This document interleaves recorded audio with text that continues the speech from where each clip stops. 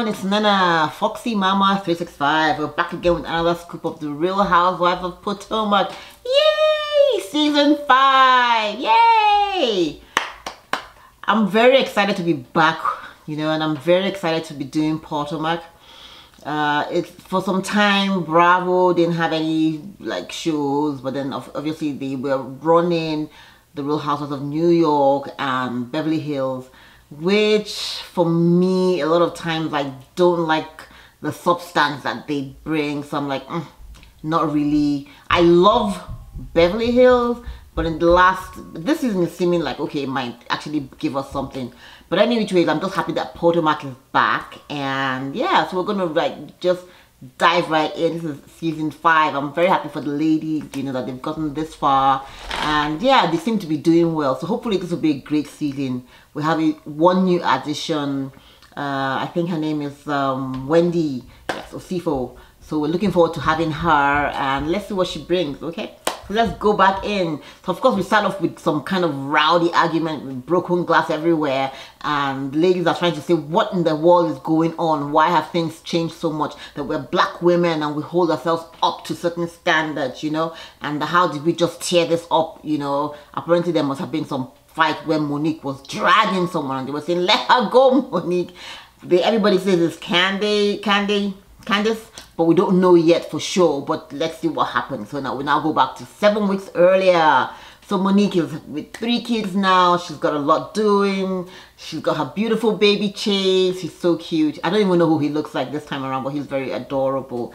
And then she also has got a parrot that she is potty training. Monique, if you say yes, that you're like that busy, who has time to potty train a parrot? Like really? Any which ways chris is having none of it okay? So monique is taking her parrot along with her to see karen which is kind of cool you know? A bird on a leash okay? Right here. But she, it's got a leash. Any which ways the bird is getting potty trained which is kind of cool. And so is her son as well so cool.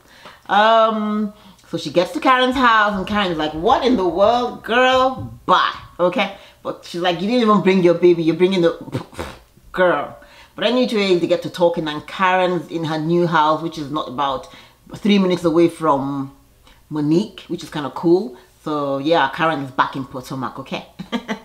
Just so you know, the house looks nice. It's kind of really cute. It's not that grand like her first house was. But the good thing is that she's back in Potomac, okay? So she's showing Monique around and she, they get to sitting out and they get to tete-a-tete. And of course, we see the grand dame tell, tell Monique that things are not really working between her and um, her husband, Ray. Ray has been kind of, you know, keeping her back, probably because there's a 17 year gap between them in their marriage. So she says she's been doing a lot of business, trying to launch her her, her perfume line and going out and stuff like that. And Ray's like, mm -mm, not really having any of it. He's at the stage where he wants to retire. Hmm. So pretty much Ray, I know, I know, I get it that when you get to that age of about 70 where you're just like, you know what, I can't even be bothered to, like, listen, I just want to just lie in bed and with the remote control in my hand, and, you know. But Karen is now like, she's 50-ish, thereabouts, and she's like, look, she still has some life in her. She does, but she's to put some work into it. And I'm, I really hope that they, that they really can get to stay together and that Ray really supports his wife. Because usually when it's flip side when it's the man the woman would always support you know whenever he's trying to progress in his career. So I really would hope that Ray would support his wife. That's pretty much it anyways. Karen says she will fight for that marriage okay? Gizelle she's in her new home as well. She's moved in and it's looking nice turned out really nice, you know, and of course she gets it, she has her three beautiful girls trying to help her move in and they're talking, they're talking about, they're trying to have a conversation with Jamal Bryant, who's their dad, but it seems really off and it's like strange, there's like a, it's awkward, that's what it is, it's so awkward and it's like, so we're like, why is it so awkward? Anyway, she hangs up and she's like, okay, ladies, what's going on? Why you guys, you know, why don't you guys want to talk to your dad? And they're like, mm, yeah, it's your thing, quite frankly. It's not our thing. We're used to either we're with you or you guys just do you. But yeah, we don't really want to get involved, quite frankly. And they're saying, and then someone say, one of the daughters say it's a fake relationship. And I'm like, oh, I cut that, yeah. So I was like, okay, is she just doing this just to have a storyline? Because from the top, you see all the ladies saying, oh, how's Jamal? What's going on with you and Jamal? Jamal, you know? So I'm like, is this just for a storyline or is this a true relationship? But she says, that's Gizelle, of course. She says that a friend has said, who else is going to, you know, hold your hand and love your kids the way you do and all of that, you know? And she says, well, whatever it is, it's my relationship. We are the adults in it. You girls just have to, like, go with it. So the ladies are like, the daughters are like, okay, we just don't want you to get hurt. And they actually talk about the fact that he has actually, he had hurt their mom in the past. So they're really being protective of Gizelle. We'll see.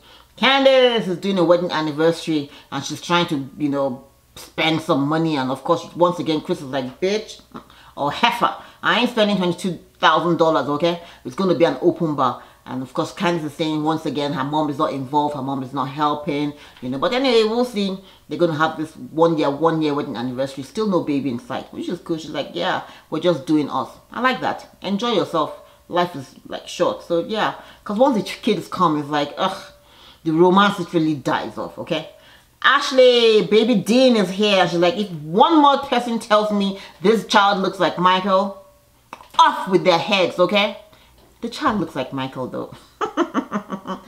so she said no diaper. I think she's trying to do all the healthy stuff, you know, do um, baby breast milk and um, healthy um, diapers and all of that. But I think pretty much, well, if it works for her, I'm happy for her.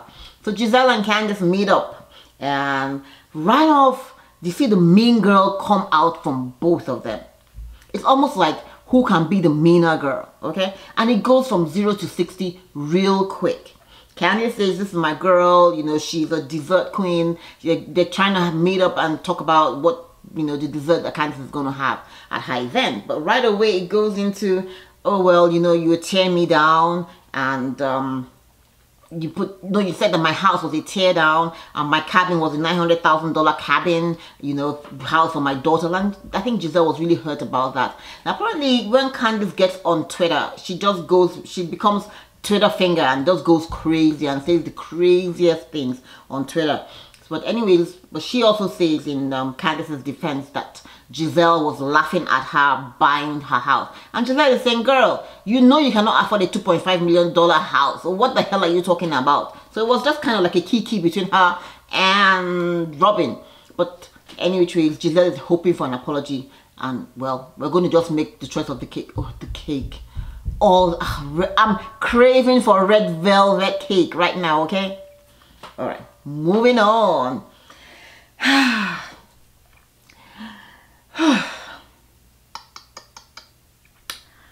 Monique and Ashley meet up. Is this friendship real? I don't know. Somehow, well, let me just say, Monique and Ashley used to be cool. However, two seasons ago, Ashley came at Monique with regards to the fact that Monique got into an accident when she was driving after they had hung out. And Ashley kept on saying, oh, Monique, you were drunk. And Monique is like, girl, I wasn't drunk. I was just tired and exhausted and I fell asleep and I crashed my Porsche. Okay. However, I think Monique was kind of hurt because she really thought she was building a friendship with Ashley and they were kind of like, you know, cool. So for Ashley to have come at her sideways that way, Monique felt really bad. And I totally understand it. But anyways, baby steps is what they're trying to take because they're pretty much hooked to the fact that both of them have babies and they're trying to, you know, like reconcile. And they're kind of having the same kind of method of raising their kids. We'll see. Michael and Chris at the reunion, they take us to the flashback. Michael was really stunned at how Chris kind of handled him at the reunion and he's like, um, I really didn't know why Chris was coming for me and all and all that sausage comment and all that crap. Any which ways, he doesn't really care for Chris, okay? and this Chris, of course, I'm talking about the Chris from Candiace. That's Candiace's husband, okay? Candiace's anniversary party. Yes, the Grand Dame is here. So it's meant to be, I think they're doing silver or diamonds and and denim, which is kind of nice, you know, which is, you know, two, one, one soft and one hard, well, whatever. But anyway, people are meant to show up in diamonds and denim. A few of the ladies do show up And then, of course, we get our introduction to Wendy Osefo, who is uh, like the Grand Dame says, she was not impressed when with her when they work together at some kind of charity work. Monique is there, Gizelle shows up, and of course, Gizelle, as usual, is standoffish. Why Gizelle always feels she needs to haze the in intake, the new, the new, the new ladies that come in. I, I don't know. Anyway, they introduce Gizelle to Wendy, and Gizelle in it off just goes like, "Oh hi," and she walks off which is a stark difference from Monique, who is like, oh, I have a kid. What? How old are your kids? Oh, all right. Oh, I'm actually half Nigerian. Where are you from originally? Oh, I'm Nigerian. Oh, I'm 35% Nigerian. You go, Monique. Yeah, you know, and uh, you see them at least making an effort to be friends. You, it might not always turn out that we're friends, but at least you, you, you make an effort, you know, to actually get to know someone before, you know, any anyway, Candiace pulls Gizelle out to the outside and it's like let's have a little tete-a-tete about what happened at the last cake tasting you know event. And they get to talking. And Gizelle is hoping for an apology and she says girl you were attacking me on Twitter and talking about my home and all of that and you're expecting me to give an apology? What what is this? And of course Gizelle and Candiace is saying well you also attacked me I don't think they're going to get anywhere so there's not going to be any apology so let's just keep it pushing you guys might not be great friends but it is what it is Okay? So Candiace thinks she's gonna drag Gizelle. oh, Karen. Karen is like, girls, you guys just, you know, keep it together for now. No apologies coming up anytime soon. Charrisse is back. I really, really missed Charrisse. Yeah, last season she didn't show up and I really missed her. Anyways, Monique don't mess with Charrisse, okay? She said there was some kind of rumor Charrisse started about her family and she really doesn't have time. She's just not going to give any energy to it, okay? And they're asking her, what was the rumor? And she's like, mm-hmm, uh-uh, not today. Next! so every, and Gizelle is, Robyn comes in, Robyn comes in with Juan. Robyn had a conversation with Juan, that's true, I didn't get into that, in which you're talking about getting married. And I'm like, Ugh this is going to be a storyline again and you guys are still not married again i mean i thought this season would have been the season for the wedding but apparently yesterday she got into an interview with bravo tv the lead from bravo and she said well apparently with the with what's going on right now the covid-19 situation it's not looking like the marriage the wedding is going to happen this year but we'll see I wish them all the best. I really don't care about that storyline. But I'm happy that they are, you know, they've gotten their act back together, which is kind of neat. Okay?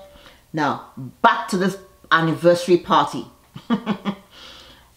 Gizelle wants to know why everybody is so bothered about Jamal and her business with Jamal, okay? We want to know because we really like you. And you hear the other lady saying, mm, they don't really care. They don't really believe it. Because previously, from what was alleged, okay, it had been said that he had stepped out on her. And not only that, there was rumors about a baby. You know, it's one thing for a man to cheat, it's another thing for him. So this is really turning out to be more like love and hip hop, okay? Yeah, this is really, yeah, this is really tiny betrayals. If she loves it, we like it. We are here for it, okay?